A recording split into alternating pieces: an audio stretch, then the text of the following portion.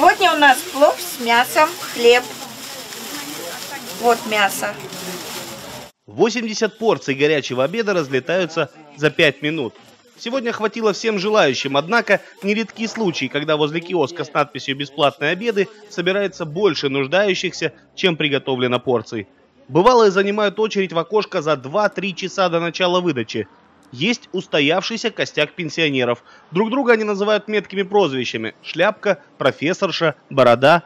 Виктория Беженка из соседнего Узбекистана приходит к заветному киоску каждый день. Единственный доход ее семьи, пособие от Красного Креста, составляет около 50 долларов США в месяц. Для нее этот обед жизненно необходим. Это наша жизнь, питание. У нас нету, мы пенсии не получаем и так далее, так далее. И вот мы фактически живем вот э, на вот эту еду. Так бы мы просто бы умерли, честно говоря, откровенно. Алматинец Муратбек Аубакиров должен был выйти на пенсию еще три года назад, однако не может оформить пособие из-за отсутствия необходимых документов. Бесплатный горячий обед он старается не пропускать, так как сам готовить не любит, да и зачастую просто не на что купить продукты. Ну, на еду иногда тоже подбрасываю что-то так, но я вот с протянутой рукой не хожу. Пока. Я этот припас на всякий случай потом. Когда уже, уже выхода не будет, когда уже совсем уже. Вот. А так, в принципе, где-то там в церкви где-то паёк дают, там хлеб. А теперь здесь вот новый сейчас Проект «Бесплатные обеды для пенсионеров» – детище команды психологов, работающих в тренинг-кафе. Это уникальное заведение, где работают люди с ментальными нарушениями. Каждый день они готовят не менее 60 горячих обедов для нуждающихся алматинцев. Себестоимость порции примерно 1 доллар США. За год их было выдано уже более 5 тысяч. Сейчас проект, живущий только за счет краудфандинга, испытывает трудные времена и находится на грани закрытия.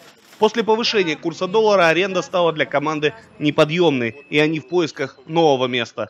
Проект убыточный, местоположение убыточное. Нам невыгодно здесь работать. Грантов у нас уже нет, потому что они нам помогали как могли и дали возможность раскрутиться.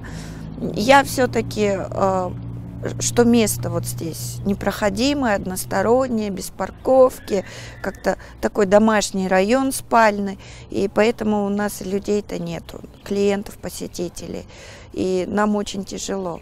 80 порций бесплатных обедов для жителей полутора миллионного мегаполиса, конечно же, как капля в море. Уже составлены списки нуждающихся пенсионеров и в других районах города. Также и тех, кто не может прийти за обедом самостоятельно. Авторы проекта рассчитывают на то, что их поддержит большее количество алматинцев, и им удастся открыть большую социальную столовую, а также подобные пункты выдачи во всех районах города. Дмитрий Беляков, Павел Энгельгард. Настоящее время.